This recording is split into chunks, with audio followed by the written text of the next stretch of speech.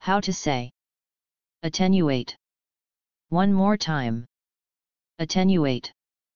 Well done, see you soon.